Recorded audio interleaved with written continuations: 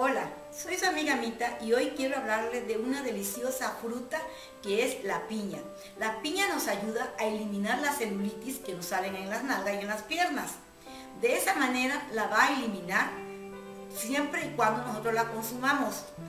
También nos ayuda a depurar, nos ayuda a adelgazar porque contiene muchas propiedades y contiene vitamina A. La piña también nos ayuda a eliminar todos los residuos que tenemos en nuestro intestino.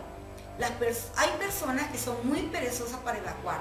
Si usted come tres veces al día, las tres veces usted tiene que ir al baño.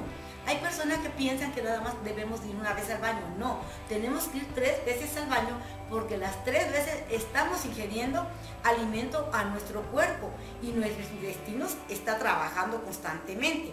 La piña nos va a ayudar a depurar, la piña también es excelente para bajar también no es todo lo que es nuestra grasa corporal.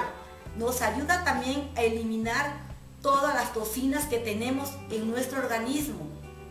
La piña tiene tantas propiedades que también nos ayuda a que cuando la comemos nos ayuda a eliminar todos los residuos que tenemos en nuestra dentadura. Nos ayuda a nuestra piel y a regenerar tejidos que es muy importante de nuestro organismo. La piña también nos ayuda a que nosotros o todas aquellas personas que padezcan de hipertensión arterial, esto le va a ayudar a bajar la hipertensión. También nos ayuda muchísimo al 100% para que nosotros tengamos una piel excelente. Nos ayuda también a la vida sexual. ¿Por qué? Porque ayuda a activar las hormonas y de esa manera usted tendrá una vida mejor yo se la recomiendo. Pueden, mire, no importa la cantidad que ustedes puedan ingerir, la cantidad que ustedes quieran, no importa si se comen una piña entera. La verdad eso no tiene nada de malo, al contrario, les va a ayudar muchísimo. Debemos consumirla así en trocito. Les voy a decir por qué es mucho mejor.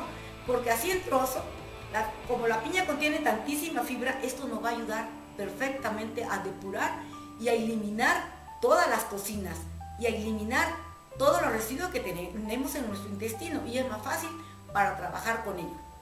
Después de que nos hayamos comido la piña, nos la vamos a comer en ayunas. ¿Qué quiero decir en ayunas? En la mañana temprano que sea su primer alimento la piña.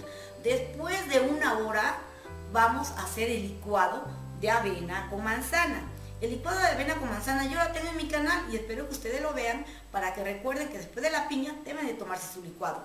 Todo esto en conjunto se va a usted a sentir mucho mejor y nos va a hacer muy bien para nuestra salud. Hasta pronto, soy mi